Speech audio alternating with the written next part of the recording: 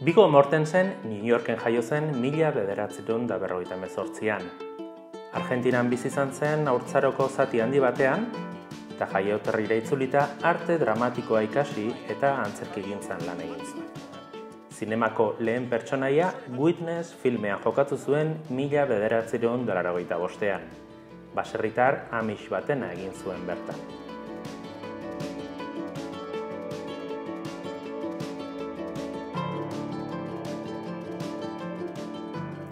Astapenetan genero zinema landu zuen. Leader Face, Texas Chainsaw Massacre iru eta Young Guns B filmetan parte hartu zuen.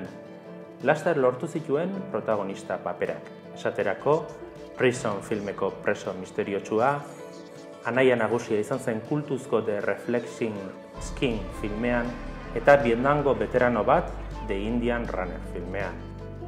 Mila bederatzeron dalaroita marreko amarkadan, zinema gile garrantzitsuekin egin zuen lan.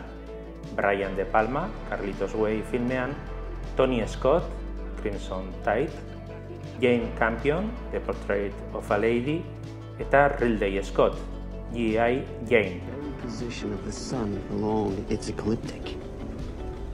These are just a few of the things I control in my work. Milurteko aldatzearekin batera, bereganatu zuen Mortensenek ospe handiena, eraztunen jauna trilogia fantastikoari esker. Ikuslen aldetik arrakasta handia izan zuen trilogia horretan. Aragorn pertsonaia jokatuz.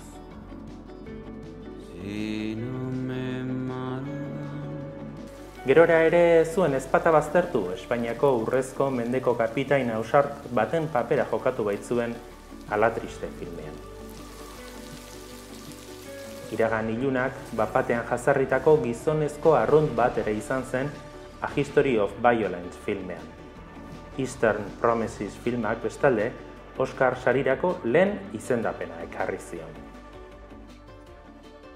Azken hamarkadan, beste literatura egokitzapen batzuetan parte hartu du.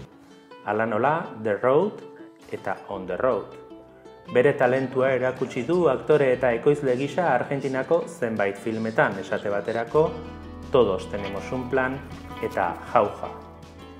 Hollywoodeko Oscar sarietarako azken bi izendapenak berriz Captain Fantastic eta Green Book filmei esker lortu ditu aktoreak.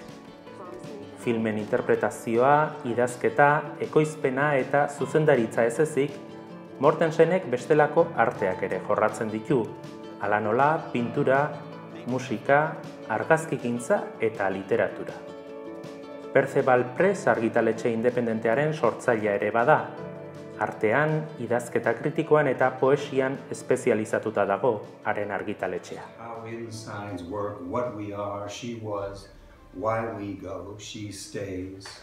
Donostia saria jasotzeaz gain, Donostiako zinemaldian Falling filma aurkeztuko du Mortensenek, zuzendari gisa duen lehena. Filmak amaiera eman zion Sandenseko zinema jaialdiari eta Kanesko zinema jaialdiak hautatutako filmen artean dago. Lance Henrikse eta Mortensen bera aita semen rolean ari dira, bakoitzaren munduak ez du zerikusirik bestearekin eta mundu horiek talka egingo dute familia drama batean. Pelikula urriaren bian iritsiko da Ego Euskal Herriko zinema areroetan. I know what you're trying to do. You are such an asshole. And you are a fucking pansy. I'm trying to help you, Dad. Heaven doesn't want him and hell keeps sending him back.